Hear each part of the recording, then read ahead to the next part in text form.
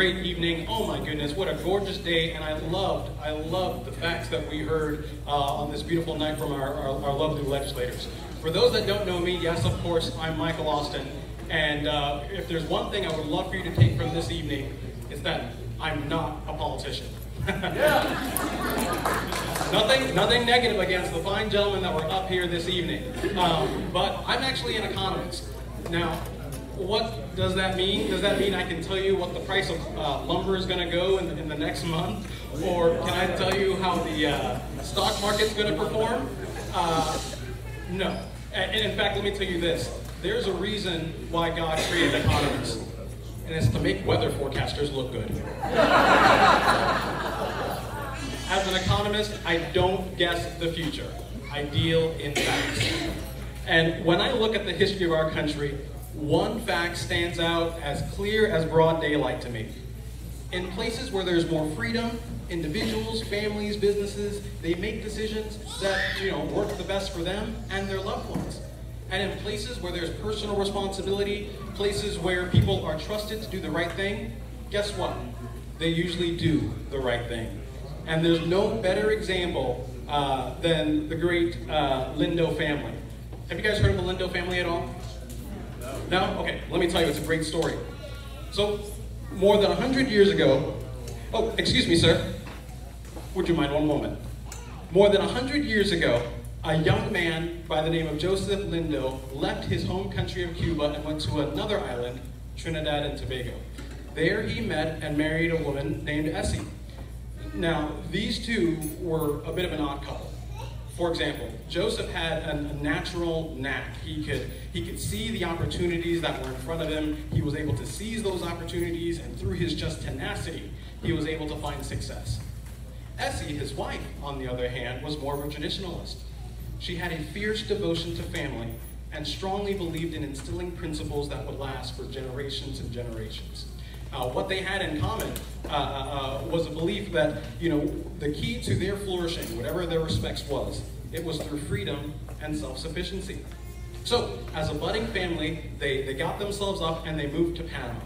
Joseph, for example, worked construction on the Panama Canal, earning silver for his work. Uh, his wife, Essie, turned the home into a grocery store and a laundry service, where most of her clients were the local police. See, she was even backing the blue, even 100 years ago.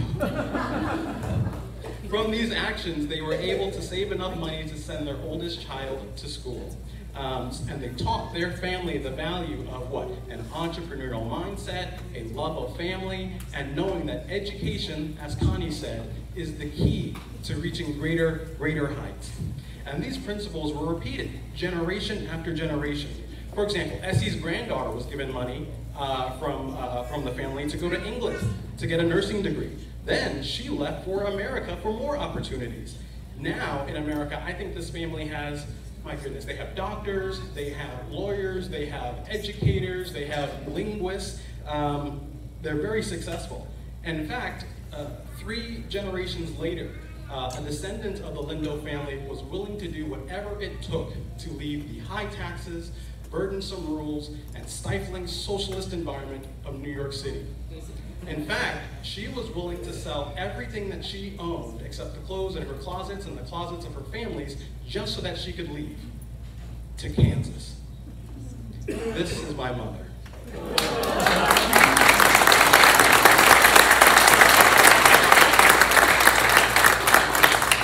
Joseph and Essie are my great great grandparents.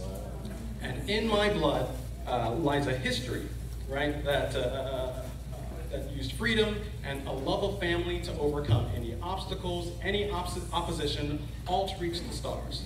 And in my mind uh, lies the fact that no other country in this world promotes the upward mobility of its citizens than the United States of America.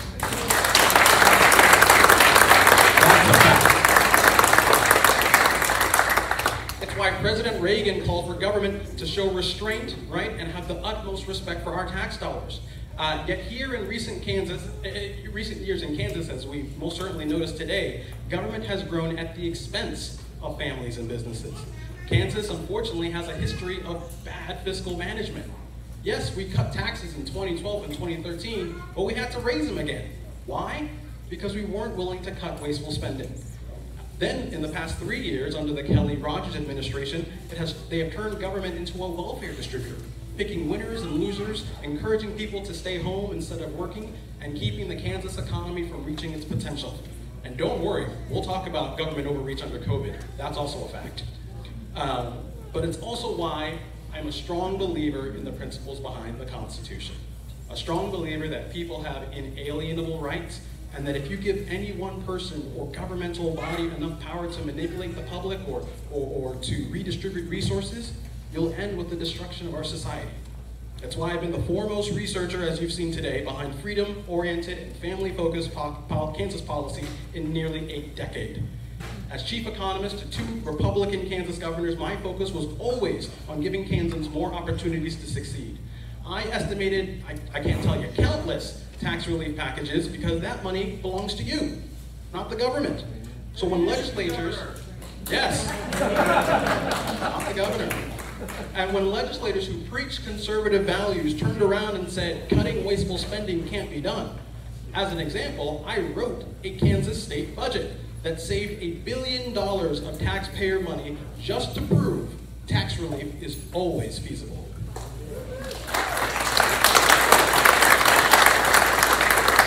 I was also the first to vocally push back on the Kelly Rogers COVID lockdown and mandates. Remember when her and her secretary uh, uh, misled the public on the effectiveness of mask mandates? You guys remember, we caught them in that lie. I caught them in that lie.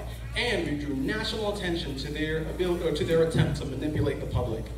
So I say this all the time. If you haven't guessed it by now, I support a radical, very radical policy I like to call keeping more of what you earn. very radical.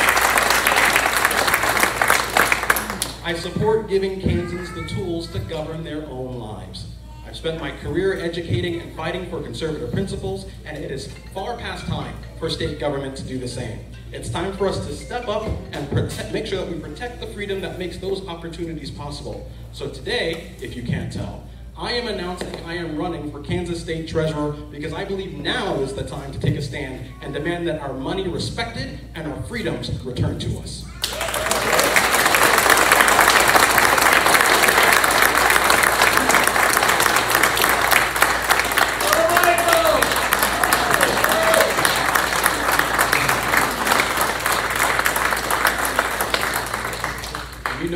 Already have a plan.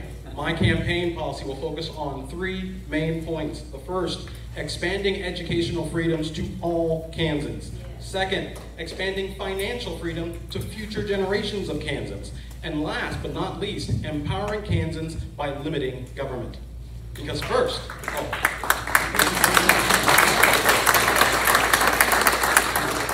so glad you like it. Because first, you don't have freedom when Laura Kelly or some self-anointed local school board member closes your school, pushes wokeness and grievance culture, and then leaves families with no way out. You know, Connie said it well, you know, research shows, even though schools are open today, research shows that because of distance learning, our children have retained about 70% of reading and 50% of math compared to in-person instruction. Think about that our children have learned only half as much as math, as much in math, because in Kansas, the great equalizer shut its doors. We need to fix that. So I intend to give families the flexibility to set their kids up for a lifetime of success, providing the best education that suits each child's individual and unique needs. I'll expand access to tax advantage savings accounts, and I'll work with the legislature, our fine gentleman up here earlier today, to ensure that your tax dollars follow the child, not the system.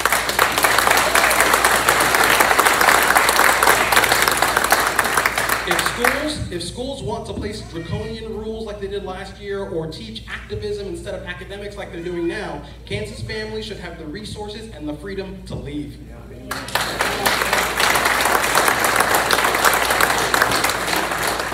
Second, you don't have freedom when you call for the government to give you free health care, free tuition, free stuff. A friend told me those calls are a hallmark of a socialist future creating a culture of debt and diverting them from a path to prosperity. Our young generation must know the dignity in work and the God-given joy that comes with it. You know, so I'll work with banks and financial institutions to introduce financial literacy courses for our young children. And you know what? Maybe some politicians can take it too.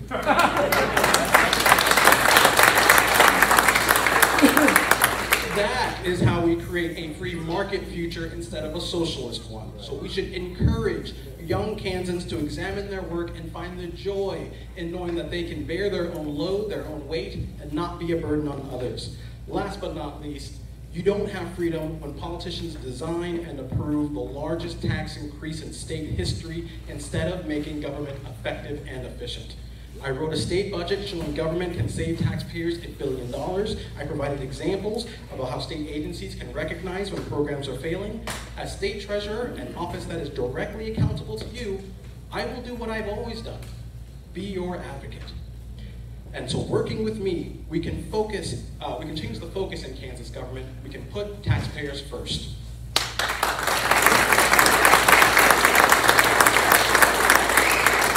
If the years have shown us anything, it's that giving more power and control to the government has not made us better off. We've heard bureaucrats go from uh, uh, 15 days to slow the spread to follow the science to, you know what, I'm just going to control nearly every aspect of your lives. Right? I want to highlight the other side of that equation. Thomas Sowell, uh, who's my inspiration to get into economics, he famously said, freedom has cost too much blood and agony to be relinquished at the cheap price of rhetoric. In other words, we cannot allow losing the very freedoms that made America so great in the first place. For this reason, I am sacrificing my resources, uh, my livelihood, frankly, my peace of mind, uh, so that I can remain free, just like my ancestors before me. So I am Michael Austin, Republican and conservative for Kansas State Treasurer. I'm an economist, I'm a fiscal watchdog, I'm a proven champion of freedom, but most importantly, I'm a dad. I'm a husband, um, and I want to see Kansas succeed. But to do that, I need your help. Uh, let's send a message to the Kelly Rogers administration that you are the experts in your own lives, that you know what is valuable and what is not. That is my call to action. I'm asking for your support in this race. I'm asking for your vote when the time comes. I'm asking for your financial support to help get me across the finish line. Thank you, thank you, and thank you so much for coming out on this gorgeous day. If you're interested in supporting the campaign, please see uh, Tony in the back table, or you can visit our website, austinforkansas.com. There, you'll find that together we can bring honesty and responsibility to Topeka, we can improve the future of our kids, and we can bring freedom back to the free state.